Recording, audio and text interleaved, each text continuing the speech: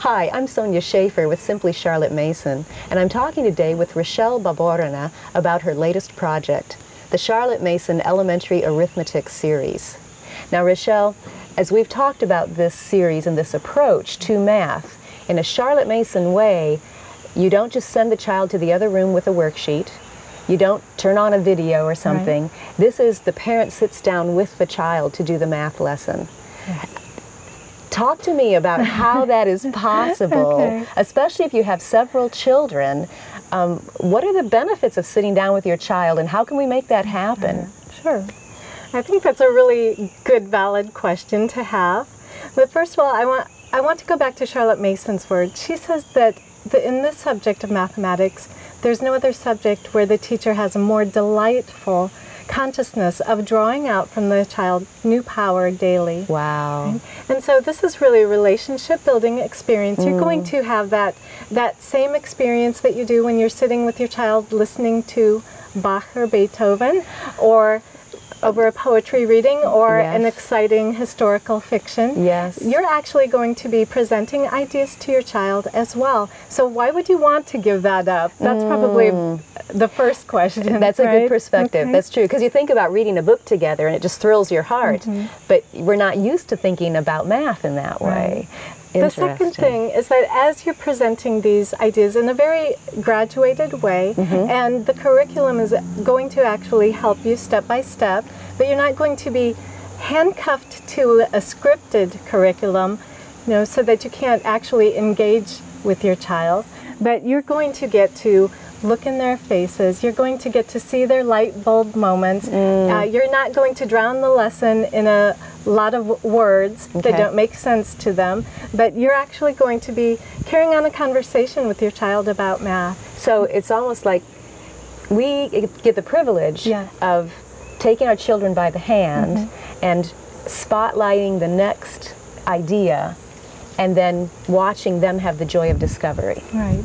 So you think about it, when Charlotte Mason calls mathematics a mountainous land, yes. you get to be the guide that is walking alongside your child, and you don't want to send them out walking into the mountains that's on their true. own. That's very right? true, yes. yes. But what we've done is we've laid a path for them that's clearly marked mm. so that they get to enjoy this journey alongside their child.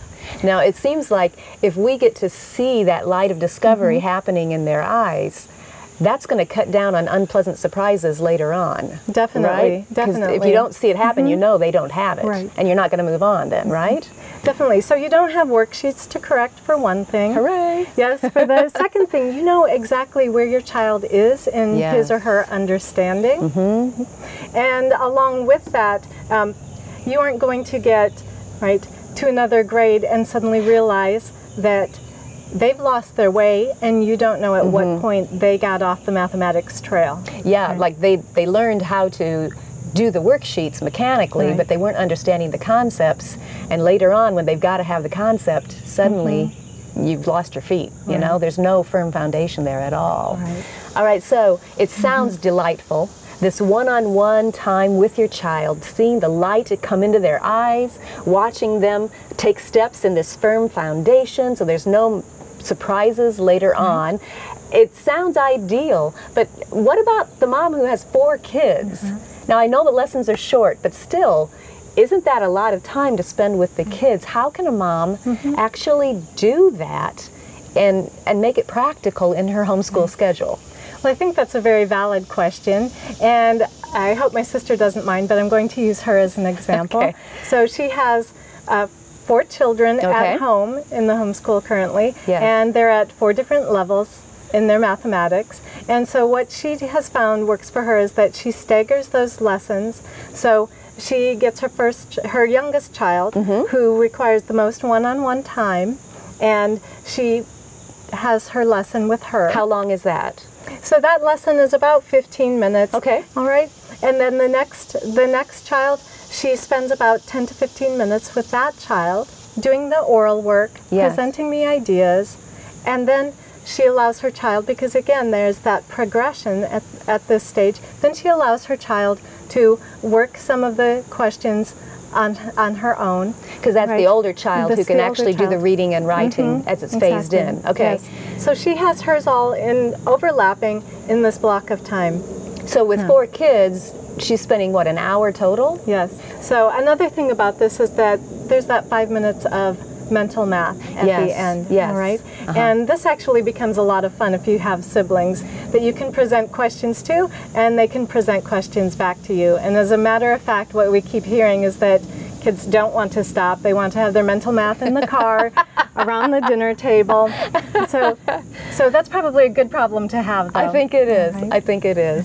So it sounds like it's a wonderful advantage and benefit for the mom to spend that time with her child Yeah. And forming that relationship. It sounds wonderful, it's delightful, it's going to build your relationship with your children, and it is doable. You can do this. Look for the Charlotte Mason Elementary Arithmetic Series from Simply Charlotte Mason.